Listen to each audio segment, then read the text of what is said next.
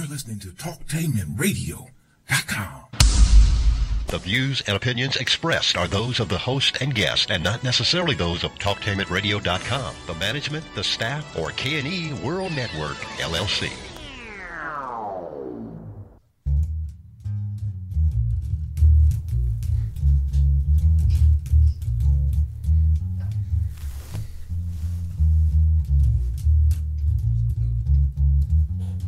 Hello, hello. This is TalkTainmentRadio.com, and you're listening to Stairway to Heaven with your host, Dr. Bass Claude Smith. And my guest will be my son, Apostle Kenneth Fletcher of the Living Word Christian Fellowship Church in Corsicana, Texas. And his topic will be It Is Written. Uh, he, he's a beautiful. I've been down to his church in Texas, and it's a beautiful church. And uh, it's, it's really, really nice. And before we get started, let me say this.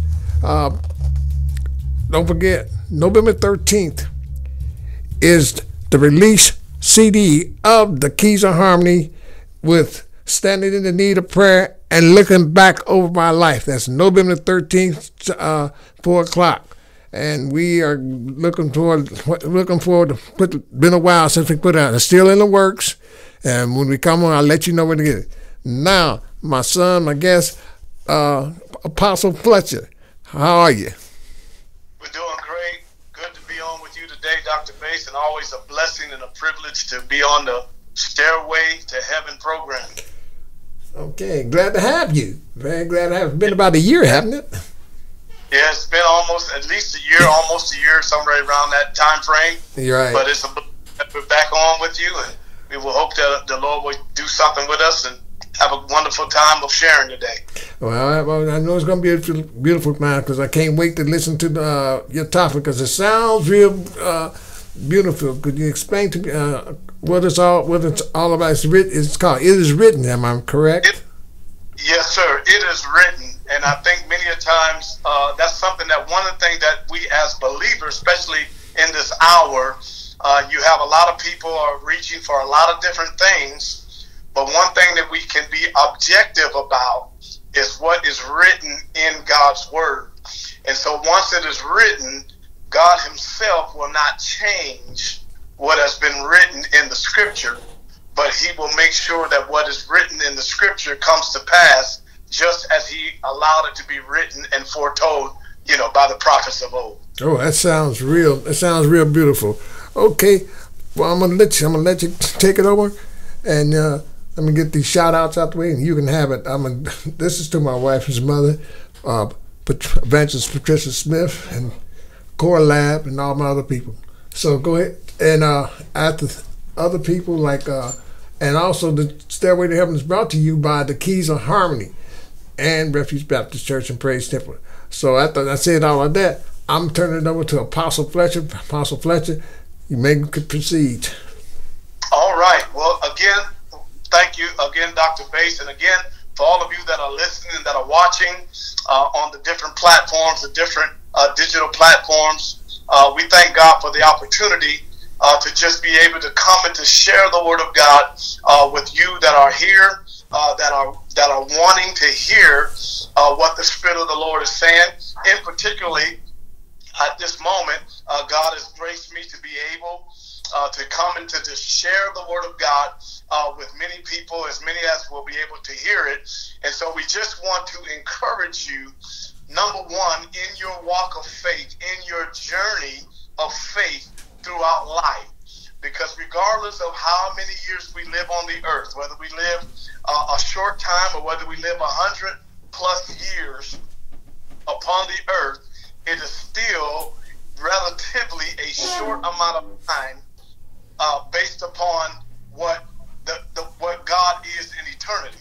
But what God has given to us is a written record of the things that He desires to come into fruition in the lives of those that will be called His people because of faith in Christ. And so it is a guide rail, it is a guardrail, it is again the lanes so to speak, that we can make sure we stay in the correct lane that God wants us to stay in as we walk or go through uh, this journey journey of life.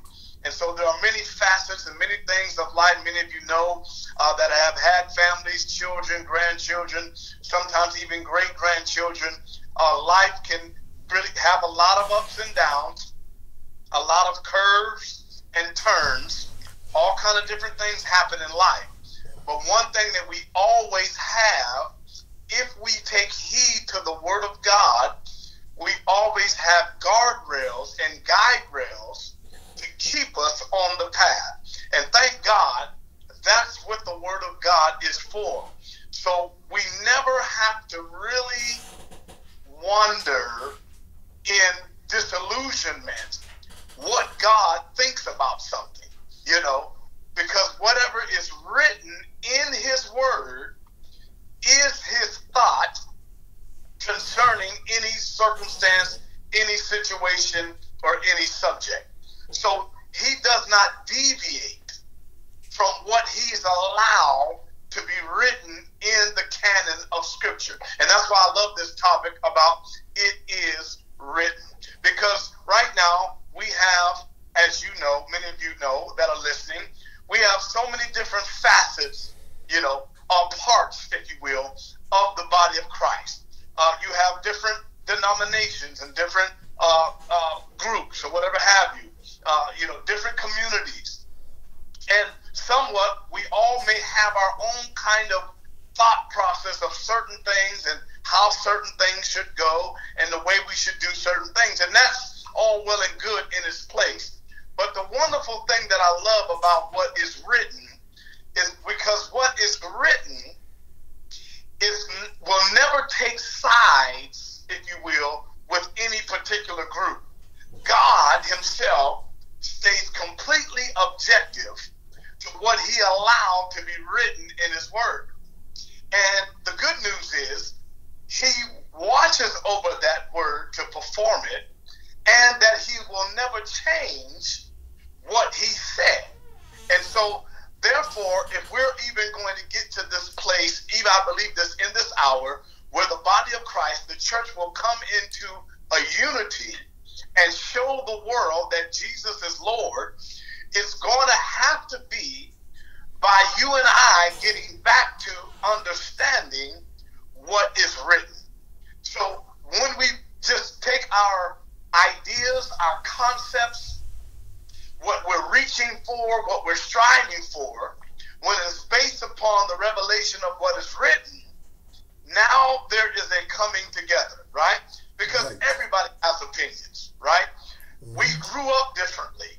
We grew up in different uh, places, different geographical places. We sometimes we grew up in different economical situations, uh, even different race racial situations. But when we come into the body of Christ, we have been born into a family that has one Father, one Lord, one faith, come on, one baptism, one God who is above all, over all, and through you all. Okay? And so, therefore, it doesn't matter where we come from, God is trying to bring us into the unity of oneness under the banner of the name the Lord Jesus Christ. So that so how do we become unified? How do really we become a body or a kingdom that is unified in purpose and unified in what we're striving for. Well, we must begin to reach for something that is objective and not subjective. What are you talking about, man of God? I'm saying that the Word of God is not subjective, it is objective. In other words, God is not going to change what He said. And God is not going to change how he operates.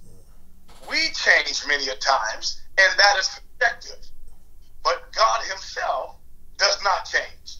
So you and I have to get to a place where we have come to a place of humility to where we can defer to what the Holy Spirit reveals through what is already written in the scripture.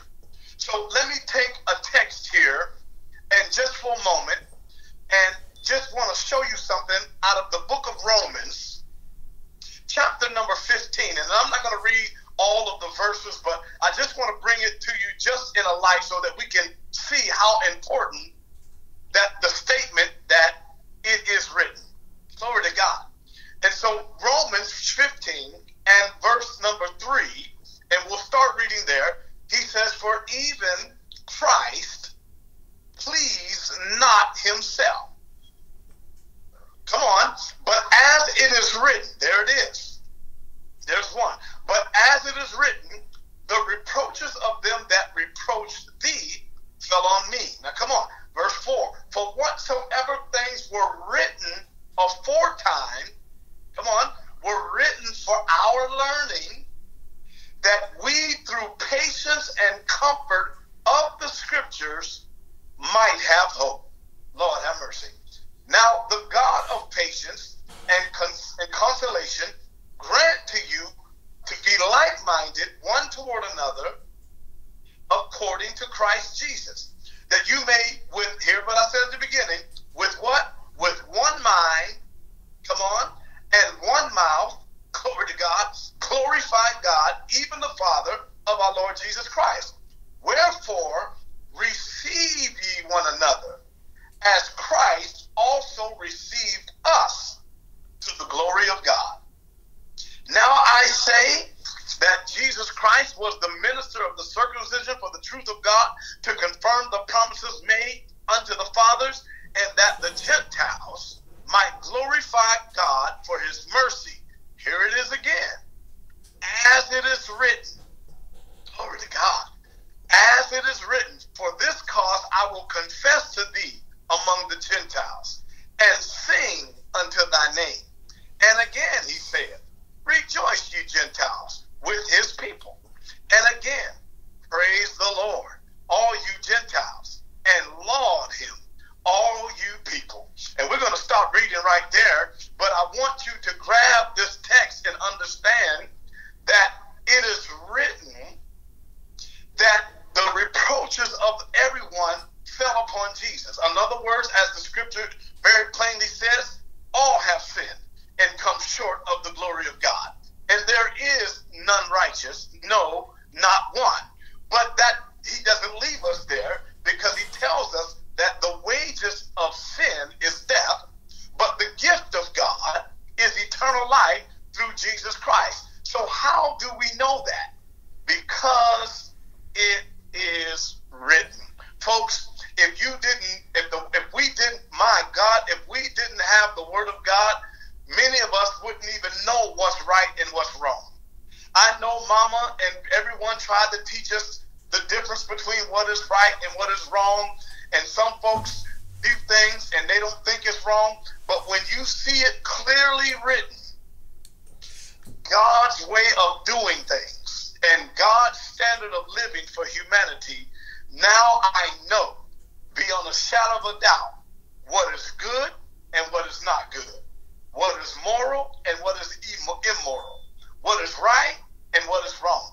So we have these debates going on right now in society. There are those that want to, uh, uh, again, promote what they feel themselves is okay.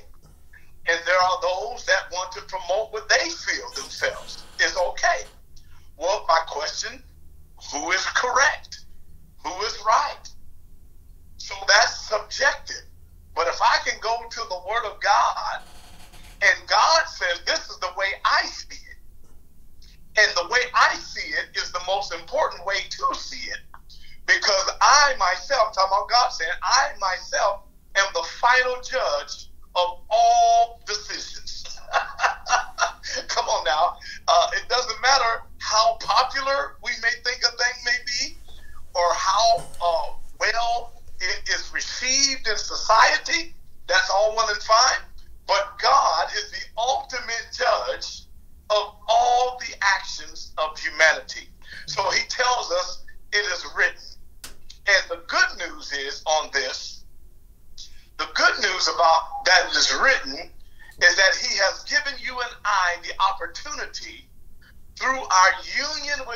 Christ to escape the negative side of the judgment that's coming on all humanity. Because regardless, friend, whether we want to call this old time preaching or whatever you want to call it, everything that you and I do is going to be called into judgment by God. This is the whole duty of man. How do I know that? Because it is written. Fear God and keep his commandments. Glory to God. That's the only way I know that, right? So it doesn't matter what group I grew up with or what part uh, of the body of Christ that I've, I've been raised up in. I still have a responsibility to the one, God Himself, that's going to be the judge of all the deeds that I do, whether they be good or whether they be bad. So as we get ready to wrap up this part, and we'll we'll over to Dr. Bass here, but I want you to understand something. Jesus is our blessed hope. And he is our blessed hope because he is again the the ratifier, if you will, of the covenant to the Jewish people. But now he says this about you and I. Who are these Gentiles that he talks about? And he says the Gentiles may glorify God for his mercy as it is written. Folks, the Gentiles are the nations of the earth, the non Jewish people that have the opportunity to have the same blessing, the same covenant, the same favor as Father Abraham because of our faith in Jesus Christ. Because he says, I'm going to confess your name among the Gentiles. And then he says that you and I really have something to praise the Lord about. Glory to God, because we have been brought into the family and the commonwealth of Israel, the blessings of the Father, because Jesus Christ said, I'm going to confess your name to the Gentiles. I'm not going to leave the nations of the earth out on the outside of this covenant, but I'm going to bring them in. Glory to God. And we are going to be able to rejoice in kingdom blessings, share in the promise of Abraham, the promises made to the forefathers, that God will establish his kingdom and authority on the earth, and because of our faith in Jesus Christ and nothing else, we are now able to partake in that same benefit. So, folks, that's why it's so important for you and I to find out what has been written in the scroll, if you will. Because whatever is written, God says this, and I don't want to quote a bunch of scriptures because, you know, like I told Dr. Bass, I could be on here for hours at a time. but, but he's holy men of God, no scripture is a private interpretation. But holy men of God spake as they were moved by the Holy Ghost. So this canon of scripture that you and I have was not not the brainchild or the idea of humanity trying to think up God. You understand what I mean? But it is God ha, revealing himself to humanity and giving them the right and the privilege and the responsibility to write out what he's revealing to them. So when I take these scriptures and I take them back to the author, who is God himself, the Holy Spirit, and ask him to breathe on my understanding, it is just as powerful if God is speaking to you just from heaven. So I'm here to tell, you, glory to God, with all the authority of the of His Word, that whatever has been written aforetime, from Moses all the way through the Pentateuch, all the way through the Old Testament, prophets, all the way to Malachi, all the way through the New Testament, whatever has been written before, it is written for your learning so that through the patience and comfort of the scriptures, we can have hope in this crazy world. My friend, I want to encourage you to realize that I know you got great pastors. I know there's a great preacher here and there, and I know that there's different ones that are truly true men and women of God. but you got to learn how to get into this scripture and read it. Yes, take what they said, but go back and read it for yourself. Go back and dig in it a little bit. Have that Berean spirit like they had in the book of Acts when they listened to Paul, but then it said they went and they searched the scriptures daily. Glory to God, man. And they said, listen, is he telling us the truth or he just making some stuff up? But no, as but when they searched the scriptures, it said, therefore, many of them believed. Why? Because they searched it out for themselves. They didn't just listen to a smooth talking minister, which I'm not, a, hear me, don't misunderstand me. But they said, okay, I hear what you're saying. But let me go into the scripture so the Holy Spirit can teach me what is written and what He's going to do with that. So I pray that you receive that again, and we're going to uh, talk, stop right there for just a moment uh, and, and, and, get back connecting with Dr. Bass here so we can see what we're going to do next on the Stairway to Heaven uh, broadcast. Okay, thank Apostle. Just stay right there, and then and, yes, and uh, let's get back to you. I like I say, well, you're listening to uh, Stairway to Heaven on, on Talktainment Radio, and uh, I'll get we'll get back with uh, Apostle Fletcher uh, in a few. Um, I like to say them shout give my shout outs to my wife, his lovely mother, Patricia Smith, and to the sisters and uh, Scott and his family and Core Lab and some friends at Core I'm giving them all a shout out, and plus the Keys of Harmony. And as I said, November 13th, we're having our release of looking back over our life, a possibility stairway to uh, possibility uh, standing in the need of prayer. And that's November 13th at Praise Temple on Sunbury. Uh, give you give you a little more information next time we go around, but they will. I tell you who's gonna be there: the uh, Divine Angels. They're gonna be some mind dancers, and I believe some other groups gonna be there. So you know, if you have got nothing to do on uh, November 13th at four o'clock, please be there at our release CD. Also, I would like to say that uh, that this lesson that my uh, Apostle Fletcher is getting is very, very good and very, very interesting. And, uh, you know, I'm just going to turn it back on him and, and let him uh, go ahead. Apostle? All right. Well, thank you again, uh, Dr. Bass, again on talktainmentradio.com in Columbus, Ohio. Again, thank God for you. Uh, opportunity, this opportunity, as well as we're also simulcasting many of you that are even watching on our uh, Facebook and YouTube channel. So again, we thank God for all of you, and I pray that you're really grabbing hold of what we've been sharing, and that you also uh, remember about the dates, November 13th, uh, the CD release. Uh, again, uh, very important for everyone to be doing uh, what the Lord has anointed him to do.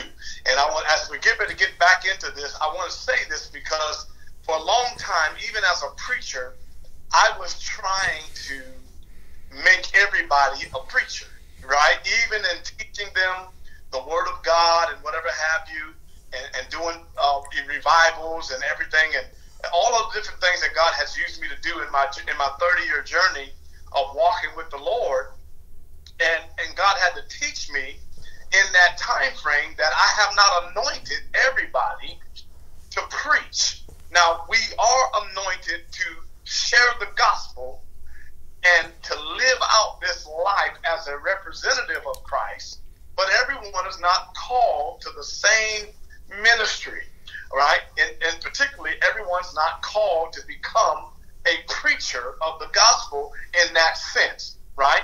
But again, just as Dr. Bass was sharing, God has blessed him with the gift of musician, a uh, uh, gift of music, uh, all of the different things that he can do. So that he give, he has a grace for that. He has an anointing for that. And so we want to encourage him and inspire him to become uh, the fullness of what God has graced him and anointed him to do. So I had to learn this uh, in my zeal in my earlier ages that uh, I'm trying to make everybody into preachers. Well, no, that's not the case. But everyone has to know the scripture for themselves so that whatever God has anointed and graced them to do, they will be able to do it with the utmost confidence, knowing that God is backing them up because they are following God's plan for their life. So as so that being said, I I stopped and I left off here out of Acts, the 17th chapter, and again uh, want to really open this up to you, talking about the Apostle Paul and when he's dealing with the scriptures, because folks, again, we have the written word. It is written to bring us into a union with the living word, who is Jesus Christ himself. But without what is written, we can be aiming at the wrong target.